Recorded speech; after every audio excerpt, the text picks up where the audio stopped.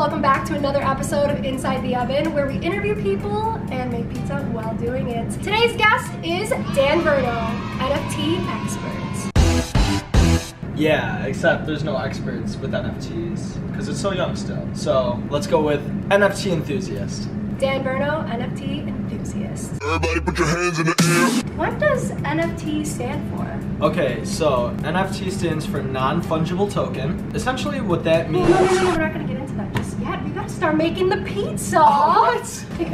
Oh, whoa, look at it go. okay, so we have dough, and we're gonna take it out of the pan. And we're gonna take this dough and put it in the flour. Okay, go ahead. Why do you always make it messy? I'm scared you're about to like throw the whole Should I do it? Comment down. Yeah. Okay, okay, okay, okay. Ah, Oh, you got like a lot of You really got me. Yeah, I threw it at your face. Stop. Look at you, you in your ear. It's good. It's like more authentic. While we press out our pizza dough, Dan, what are NFTs in as little words as possible? Pretend I am a five-year-old. Oh my gosh, it's so hard because I'm such a rambler. Okay, to put it in one sentence, NFTs are digital assets that are verifiably owned by you on the blockchain. And that might sound like absolutely nothing, but that's exactly what they are. Essentially, a digital collectible that is provably owned by you that you can then sell to other people. See, I get that. I yeah, get that. Yeah, like that makes sense, right? And it's it's hard because you kind of want to explain it We'll explain. in depth because it goes so much deeper than We have the whole episode. to go into Okay. But it looks like our pizzas are about ready to Yeah, be thrown into the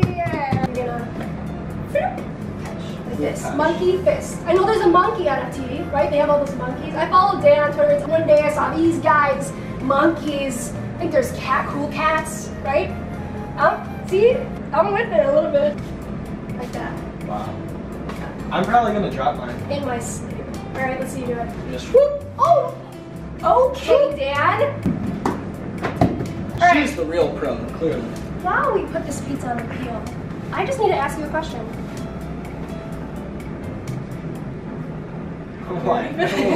What's the question? Where were you on the day that you learned about NFTs for the very first time? Yo, okay, this is What were you eating? What were you wearing? What were you feeling? I was unemployed. I was collecting money from the government. Mm-hmm. I ended up getting a job with Paychex. All the time I was working with Paychex, I was doing NFT stuff and learning about crypto more and you know everything that the blockchain has to offer. And what I eventually found was that my money making opportunities in this new space was more so than actually working at Paychex. Like as soon as that happened, it was like Why are you eating? why am I here? You know, like I clearly like there's something much bigger going on. And when I did that, like I secured a big amount of money just by being vocal and being myself. You genuinely love it. And I think that's why it works for you. Because you really enjoy it. And you want to take the time to learn more about it because you're passionate about it. Yeah. Why I'm passionate about it, I think, is because it's a culmination of everything I've ever loved. Like movies, art, music, video games. I've, yes, and it's all coming together. Like all of these different creatives from different mediums all meet in the middle with NFTs. It is, gee, it really is. And in, in a couple of years, everyone's gonna have wallets. Everyone's gonna own NFTs. I It's love okay. seeing him talk so passionately about it. It's like so cute. But this pizza, It, this pizza's cuter. it, need, it is cuter, but it's gonna stick and it won't look so cute. So let's add some toppings. Can pizzas be NFTs? Oh, sis, are you kidding me? Really? Wait, really? Of, of course. We're gonna get a couple of these old-fashioned pepperoni. Don't call them that. I hate when people say that. no, no, it's the cup we and have, char. We have regular pepperoni and we have cup and char. People, there's two in there. Cup and char, regular. What's the vibe? I think I like cup and char more. These make really good Pikachu cheeks, by the way. Like this. Oh, that's cute. Isn't that cute? For anybody who's actually trying to make pizza at home, put pepperoni on first. You want it to be flattest fattest. Okay. That's it? I don't. It looks even. Like four, You don't want more three. pepperoni? It's like If uh, I give this to a customer, they'd be like, where's my pepperoni? I, I might as well just jump off a bridge. Someone who's into NFTs would be like, you know, that's not, I want more NFT. Yeah, you lost me. How would you say that? Uh, it needs more utility, maybe. More crypto?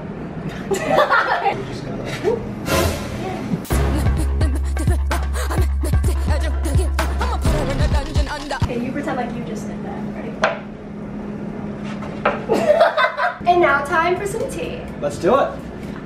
All right, so now it's time for tea. We are going to read our inspirational tea bag messages. Mine says, say it straight, simple, and with a smile. And I could not agree more. What about you? Mine says people who love are compassionate. Oh, I love that. Yeah. So tell me, Dan, are NFT people lovers or are they fighters? You know, I definitely have to say we're lovers. You think? Oh yeah, it's very much all about the community. Is It- there any like actual punk NFT people who are like, hey, this NFT is better than that one?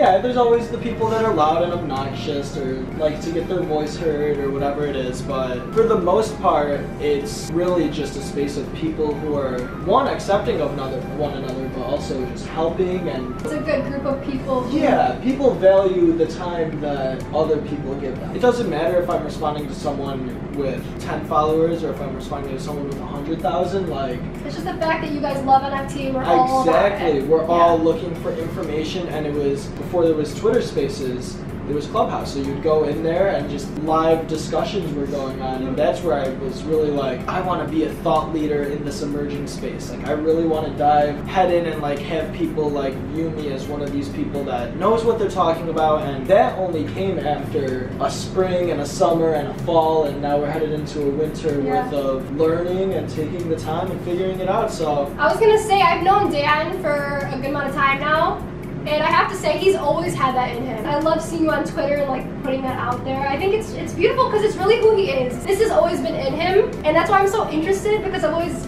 believed in your vision and like who you are, and it's really so cool to see how far you've come.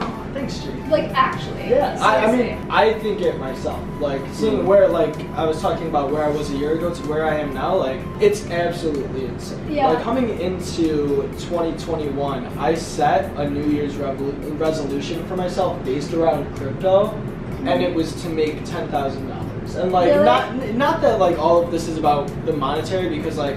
It's really not. Like I've made a good amount of money, but it's for me at this point. Like it's, It's more about yeah. It's so much deeper. But I really, really believe that you are so successful in it and you feel so good about it because you really believe in the right reason to do it. It's not like, oh, I'm just, of course, you're trying to make money, yeah, all that's awesome, it's a nice perk, but it's like you really enjoy it. Yeah. And we talked about this, like, that's why I feel passionate about, like, Twitch. Like, Yeah. I'm like, oh, I'm doing this, I love connecting, but oh, and, like, I get paid for this? Like, I would be fine without Yeah. that. It's so fun and it's so, like, It's fulfilling. it's fulfilling. That's Yeah, word. Yeah, exactly. Very fulfilling. Yeah. Because you're doing something you genuinely love. All right, Dan, your pizza is ready. See it. Oh my gosh. There she is. Go ahead and pull her out. Don't drop it. I don't know. It's like a baby. You have to be so careful. Babies are stupid. How many pieces? Dan. They are. Ooh, listen to that crunch. Pizza ASMR. Is it good? A little hot. Here. It's inside the oven. That's why it's hot. It's out of the oven now. It's true. Wow. It's like the cat's out of the bag. The cool cat NFT out of the bag. That's good. It's good? Mhm. You made it. Mm. Pretend you want to get into NFTs. Where do you start? Do I like DM you on Twitter? Do I just follow the accounts and like kind of read what people are saying? Like, is there a Joe Rogan podcast? Where do Oh I my start? god, stop. I feel like those guys are like, yeah, Joe Rogan says get an NFT, right? Is it so wrong? Gary Vee, not Joe Rogan. Oh, see, I don't even know who that is. Educate me. I'm someone who knows nothing. I literally know nothing about it. Educate me. Okay. I'm sure there's a lot of people out there who have the same questions. I'm gonna be woman enough for both of us and ask it. So, of you.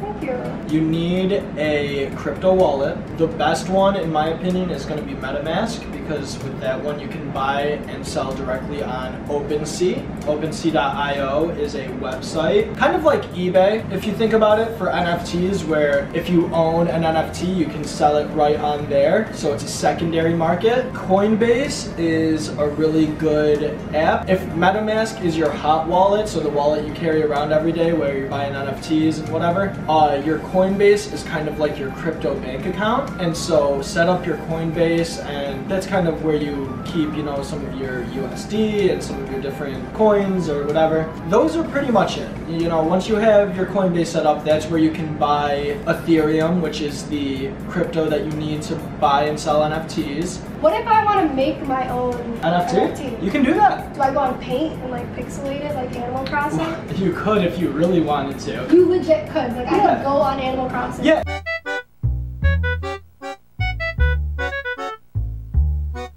See how he has like a hat and the earring and the mutton chops? Yeah. Right? Those are Mutton all. chops? Yeah, like sideburns, whatever. Oh, I didn't know that was another name. Yeah, those are all its attributes, okay? And so all of the punks have different attributes, but there's only a pool of like yeah, well, I wanna, 30 of them. Say I want to make the initial punk, like no add-ons, none of this pork chop, like all that. You know what I mean?